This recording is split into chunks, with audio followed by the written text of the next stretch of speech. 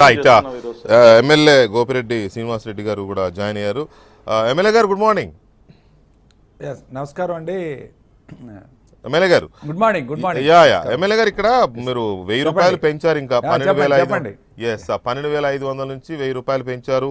పదమూడు వేల ఐదు వందలు చేశారు. అఫ్ కోర్స్ అది కేంద్రం ఆరు వేలు కేంద్ర ప్రభుత్వం యొక్క కాంట్రిబ్యూషన్ దాంట్లో ఉంది కాబట్టి బహుశా మరి బీజేపీ డిమాండో లేకపోతే గౌరవించాలనే ఇది కూడా అయ్యి ఉండవచ్చు కేంద్రాన్ని. దాని పేరు కూడా వైఎస్ఆర్ రైతు భరోసా పిఎం కిసాన్ అనే పేరుతో దాన్ని ఇక్కడ నుంచి అమలు చేయబోతున్నారు. అంతవరకు చాలా బాగుంది అభినందనలు మీకు మీ ప్రభుత్వానికి. కానీ ఇక్కడ రెండు రకాల అంశాలు ఉన్నాయండి. ఒకటి దీన్ని మూడు విడతలుగా చేయడం ఏంటి అనేది ఒక విమర్శ వస్తోంది. రెండోది అత్యంత కీలకమైనది రాష్ట్రంలో దాదాపు ఇరవై లక్షల మంది వరకు కౌలు రైతులు ఉంటారు అనేది ఒకటి ఉంది. బట్ మూడు లక్షల మందిని మాత్రమే ఎంపిక చేశారు కౌలు రైతుల్ని. అందులోనూ కౌలు రైతుల్లో రిజర్వేషన్ పెట్టి ఎస్సీ ఎస్టీ మైనార్టీ బీసీల వరకు కన్ఫైన్ చేశారు. ఆ వర్గాల్లో వ్యవసాయం చేసే వాళ్ళే తక్కువ కౌలు రైతులు అసలు తక్కువ.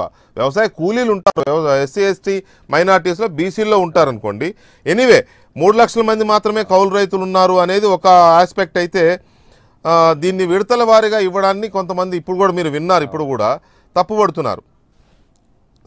చెప్పండి సార్. అవును. మొట్టమొదటిది కౌలు రైతుల గురించి మనం మాట్లాడుకుంటే జనరల్గా కౌలు రైతులు ఎవరైతే యాజమానులు ఉన్నారో వీళ్ళిద్దరి మధ్య ఒక ఒప్పంద పత్రం ఒకటి జరగాల్సిన అవసరం ఉంది. అవును. ఈ ఒప్పంద పత్రం ప్రకారం పదకొండు నెలల పాటు కౌలు రైతు ఆ భూమి యొక్క హక్కుల్ని అతను ఇచ్చేటట్టు యజమాని సంతకం పెట్టాల్సి ఉంటుంది. దీనికి చాలామంది ఎవరైతే యజమానులు ఉన్నారో వాళ్ళందరూ వెనుకంజ వేస్తూ ఉన్నారు. ఇది గతంలోనూ జరిగింది కౌలు రైతులకు ఎప్పుడు కూడా అన్యాయం జరుగుతున్నది వాస్తవం. దీనిలో ఎవ్వరూ కూడా అందరూ కూడా అంగీకరిస్తారు. కాబట్టి ఆ యొక్క యజమాని సంతకం పెడితే కౌలు రైతుకు కూడా ఇవ్వటానికి ప్రభుత్వం ఎక్కడా కూడా వెనుకంజ వేయట్లేదు.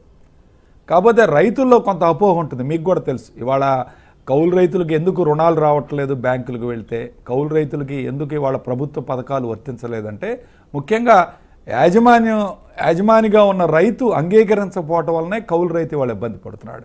మా ప్రభుత్వం ఎన్నో పత్రాలు పట్టలేదు. కేవలం ఒక పేపర్ పెట్టిందండి. ఇద్దరి మధ్య ఒప్పందానికి ఒక పేపర్.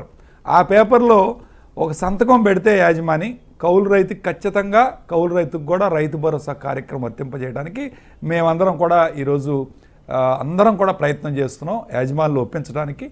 నేను కూడా నిన్న స్పందన కార్యక్రమం వెళ్ళి రైతులందరినీ కలిసి మీరు కూడా తప్పకుండా సంతకం పెట్టండి. మీ మీకు ఎటువంటి హక్కులకి మీ హక్కులకి ఎటువంటి భంగం కలదు. కేవలం పదకొండు నెలలు పా- మాత్రమే ఈ యొక్క ఒప్పందం ప్రకారం ఒప్పంద పత్రం అమల్లోకి ఉంటుంది అని చెప్పి చెప్పడం జరిగింది. దీనికి సంబంధించి చాలామంది యాజమానులు కూడా ఇంకా నెల రోజులు టైం ఇచ్చాం.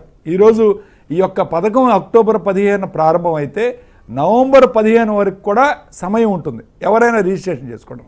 కాబట్టి నెల రోజుల్లో కొంత డ్రైవ్ తీసుకొచ్చి కౌలు రైతులను కూడా ఇందులోకి తీసుకురావాలనే ఒక ముఖ్య ఉద్దేశం ఈరోజు మీరు మీకు చెప్తా ఉన్నాం.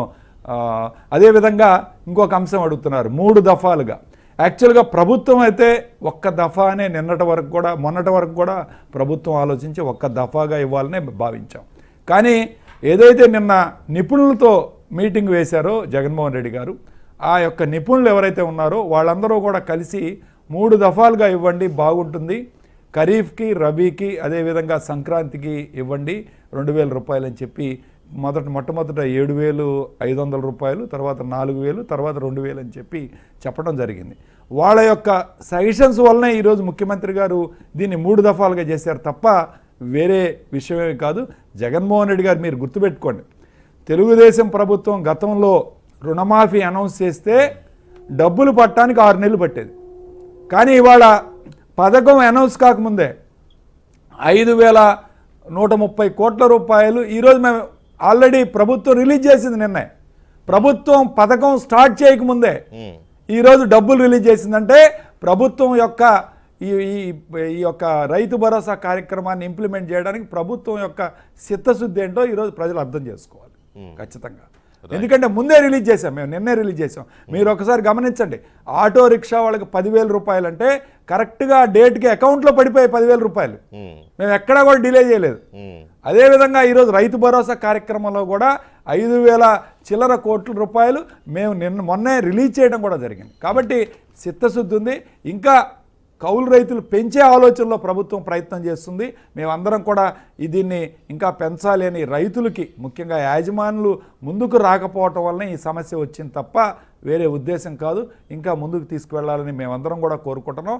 అదేవిధంగా సోదరుడు జనసేన సోదరుడు చెప్తా ఉన్నాడు మేము నాలుగు వేలు ఇస్తామా ఏడు వేలు ఇస్తామని కాదు. మేము చెప్పింది పన్నెండు వేల ఐదు వందలు ఇస్తామని చెప్పాం ఎన్నికల ముందు. దాన్ని వెయ్యి రూపాయలు పెంచి పదమూడు వేల ఐదు వందల రూపాయలు చేసాం అలానే ఈరోజు పిఎం కిసాన్ అనే పదం కూడా యాడ్ చేసాం మేము ఎక్కడా వెనక్కి వెళ్ళట్లేదు. ఇవాళ ప్రధానమంత్రి ఇచ్చే ఆరు వేల రూపాయలు కూడా ఇందులో కలిపాము అని చెప్పి మేము ఎక్కడ చెప్పుకోవడానికి ఎక్కడ వెనకట్లేదు మేము పథకాలన్నీ చంద్రబాబు నాయుడు లాగా చంద్రన కానుక అంటే అది కేంద్ర ప్రభుత్వం ఇచ్చిన పథకాన్ని ఈయన పథకంగా చెప్పుకున్నాడు. ఈయన పథకం పేరు పూర్తిగా మార్చాడు. కాబట్టి మేము ఎక్కడా కూడా ఈ వెనకందు వేయట్లేదు. మేము ప్రధానమంత్రి గారికి కూడా జగన్మోహన్ రెడ్డి గారు వెళ్ళి క్లియర్గా చెప్పడం జరిగింది. ఎక్కడ మేము దాచిపెట్టే గుణం మాకు ఎక్కడా లేదండి. ఈ రాజకీయాలన్నీ కూడా చాలా క్లియర్గా ఈరోజు జగన్మోహన్ రెడ్డి గారు అన్ని విషయాల్లో కూడా చాలా క్లారిటీతో మాట్లాడతారు. రైట్ ఎమ్మెల్యే గారు ఒక్క నిమిషం దయచేసి ఆ, పటాభి గారు. చూశారు కదా ఎమ్మెల్యే గారు చాలా క్లారిటీ చాలా వివరణ